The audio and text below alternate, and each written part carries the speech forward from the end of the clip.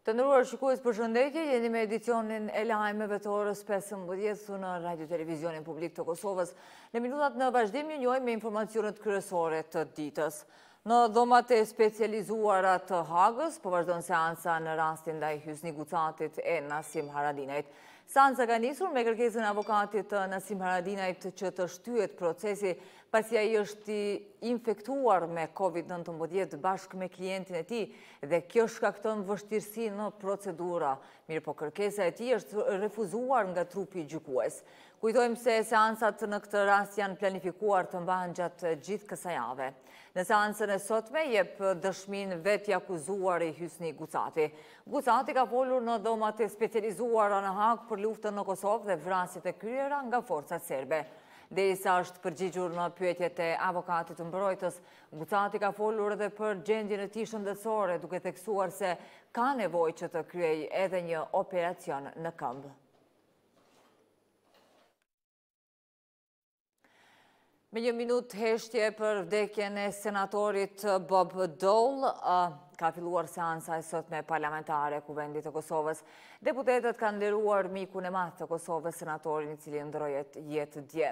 E derisa të gjithë janë ngritur në këmbë në nderim të Dole, deputetët e listës serbe kanë qëndruar ulur. Ndërkaq deputetët me shumicë votash kanë miratuar projektligjin për ratifikimin e amandamentimit të marrëveshjes ndërkombëtare me Bankën Evropiane për Investime, për financimin e projektit për rehabilitimin e linjës hekurudhore 10, si dhe projektligjin për ratifikimin e Marrëveshjes së Bashkëpunimit ndërmjet Ministrisë së Arsimit dhe Agjencisë Austriake për Zhvillim për zbatimin e projektit Hulumtimi dhe shkencat e aplikuara në arsimin e lartë. Ndërsa ka dështuar përsëri emërimi i kryetarit dhe katër anëtarëve të bordit të OSHP-së. Pikë e rendit të ditës pritet të jetë edhe zgjedhja e anëtarëve të bordit të Radio Televizionit Publik të Kosovës. Kryeministri Albin Kurti ka paralajmëruar vizitë në Shtetet e Bashkuara të Amerikës në fillim të vitit të ardhshëm. Ai po ashtu ka folur edhe për mundësinë e një takimi me presidentin e Serbisë Aleksandar Vuçiq gjatë muajit dhjetor në Bruksel. Ne nuk do të njoftojmë për takimet e veçanta pa u bërë programi i plotë. Ndërkaq është diskutuar mundësia e një takimi të mundshëm në javën e dytë të dhjetorit në Bruksel me presidentin e Serbisë Nuk kam kurrfarë informacioni që ka kushtëzime nga ndokush, veçse vlerësimi se a duhet të mbahet një takim i tillë ose jo, i përket ndërmjetësuesit, lehtësuesit, siç e quajnë ata veten, përkatësisht zëvendës Presidentit të Komisionit Evropian, Përfaqësuesit të Lartë për Politikë të Jashtme dhe Siguri, zotit Josep Borrell dhe emisarit të tij Lajçak. Presidentja e vendit Vjosa Osmani së bashku me kryetarin e kuvendit Glauk Konjufca, me kryeministrin Albin Kurti si dhe me të ngarkuarin me punë në ambasadën e SHBA-së në Kosovë Nikolas Giacobbe, kanë bërë homazhe dhe vendosur kurora lulesh te busti i senatorit Bob Dole në Prishtinë, duke nderuar angazhimin dhe kontributin e tij në politikën amerikane për Kosovën dhe rolin e rëndësishëm në procesin që çoi në krijimin e shtetit të pavarur. Ish-senatori amerikan Bob Dole ka vdekur në moshën nëntëdhjetë e tetë vjeçare, senatori amerikan ka kaluar një qerek shekulli në Senatin Amerikan, ku për disa vjet ka shërbyer si udhëheqës i shumicës. Në vitin një mijë e nëntëqind e nëntëdhjetë, Dole ka udhëhequr një delegacion amerikan në Kosovë, ndërsa ai njihej si mik i madh i shqiptarëve.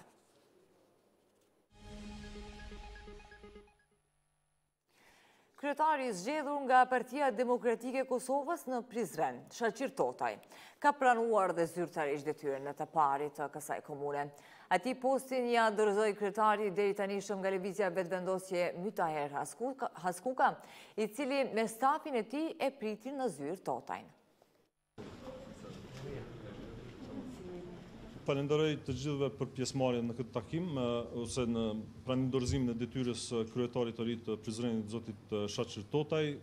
Unë i uroj punë të mbarë nga ky moment.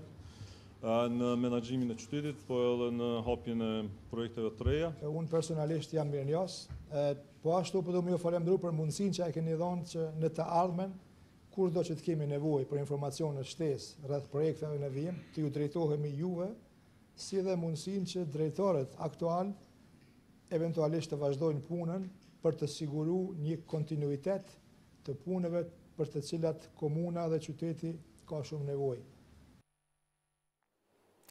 E Xhafer Tahiri me një ceremoni ia ka dorëzuar detyrën kryetarit të ri të Vushtrrisë Ferit Idrizit. Ky i fundit premtoi se do t'i përfundojë të gjitha projektet e mbetura në gjysmë. Ish-kryetari i kësaj komune, Xhafer Tahiri, pas dorëzimit të detyrës, i uroi Idrizit suksese në qeverisje, duke thënë se kryetari i tanishëm do ta ketë mbështetjën e tij të plotë. Sot po bëjmë pranim dorëzimin e dokumenteve, e detyrës, po ashtu edhe të projekteve. Lejoni që t'ju njoftoj që po ju dorëzoj planin e rimëkëmbjes ekonomike të Komunës së Vushtrrisë, që është një program i aprovuar nga Kuvendi i Komunës, projektin e tregut për prodhues vendor, projektin e Sahat Kullës, studimin e fizibilitetit për tregun për prodhues vendor dhe bashkë me projektin, gjithashtu edhe projektin e kontratat të cilat janë të nënshkruara, projektet që janë të vazhdueshme në vazhdim e sipër dhe t'uroj sukses, shëndet e punë të mbarë në interes të qytetarëve të Vushtrrisë. Faleminderit kryetar, faleminderit për punën, për angazhimin tuaj gjatë qeverisjes katërvjeçare, një periudhë me të vërtetë me shumë sfida për shkak edhe të situatës së pandemisë. Është e natyrshme që me përfundimin e mandatit ajo që vazhdon janë projektet dhe unë do t'i vazhdoj gjithë ato projekte të cilat kanë mbetur pa pa u përfunduar. Është duke vazhduar periudha për përsëritjen e votimit për raundin e dytë të zgjedhjeve për kryetar të komunës së Dragashit, e cila ka filluar me datën 29 nëntor. Zëdhënësi i Komisionit Qendror të Zgjedhjeve, Valmir Elezi, ka thënë se deri më sot kanë pranuar njëqind e tridhjetë e shtatë pako të supozuara me fletvotime. Ndërsa duke u mbështetur në ligj, KQZ do të pranojë fletvotime më së largu deri me datën trembëdhjetë dhjetor. Të drejtën për të votuar përmes postës e kanë vetëm një mijë e nëntëdhjetë votues jashtë Kosovës të komunës së Dragashit, të cilët janë regjistruar si votues gjatë periudhës 10 korrik deri me datën 18 korrik të këtij viti.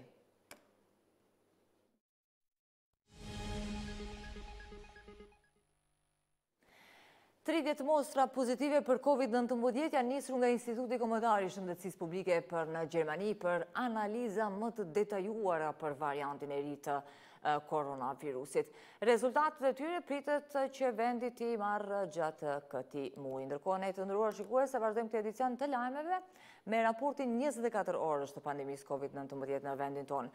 Ministria e Shëndetësisë sipas të dhënave nga Instituti Kombëtar i Shëndetit Publik të Kosovës informon se në 24 orët e fundit nga 1817 testime 4 qytetarë kanë rezultuar pozitivë me virusin SARS-CoV-2. Gjatë njëzet e katër orëve të fundit nuk është shënuar asnjë rast i vdekjes. Ndërkohë, sot janë shëruar tetë qytetarë, derisa numri i përgjithshëm i të shëruarve ka shkuar në njëqind e pesëdhjetë e shtatë mijë e tetëqind e tridhjetë e gjashtë. Në total, numri i rasteve aktive është treqind e tetëmbëdhjetë. Ndërkohë, të dhënat e detajuara mund t'i gjeni në linkun e postuar në faqen zyrtare të Institutit Kombëtar të Shëndetit Publik. Vazhdojmë këtë edicion të lajmeve me informacione të tjera. Bashkimi i sindikatave të pavarura të Kosovës ka reaguar ndaj deklarimeve të, të djevshme të kryeministrit Albin Kurti, i cili tha se do të ishte mirë që të ndërrohen kryetarët e sindikatave. Qeveria si partneri social kryesor i Bashkimit të sindikatave të pavarura nuk do duhej të ndërhynte në funksionimin sindikal, njëjtë siç kujdeset edhe organizimi sindikal të mos ndërhyjë në funksionimin e qeverisë thuhet në reagimin e kryetarit të BSPK-s, Atdhe Hykolli. Nisma e të rinjve për të drejtat e njeriut në Kosovë ka mbajtur konferencën përgjegjësia institucionale për të drejtat e njeriut. Me këtë rast, Kryeministri Kurti ka theksuar se pavarësisht se sa të avansuara të jenë ligjet tona, Sa të pavarura e profesionale të jenë ato, institucionet e gjykatat, demokracia, kërkon çdo herë pjesëmarrjen aktive të qytetarëve.